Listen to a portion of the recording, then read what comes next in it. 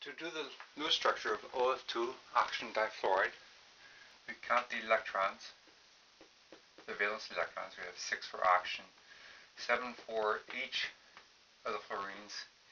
Gives us 20 electrons total, or 10 electron pairs. We're going to put oxygen as a central atom, fluorines attached onto the oxygen, put in the bonding pairs. That leaves us eight more pairs. One, two, three, four, five, six, seven, eight.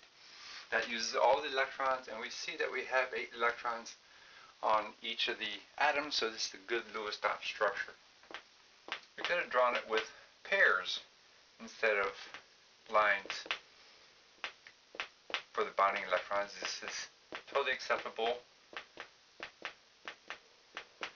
But this is a cleaner structure, easier on the eyes.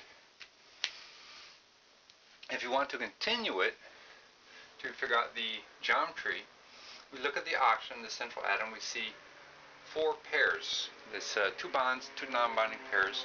So it has a tetrahedral electron geometry.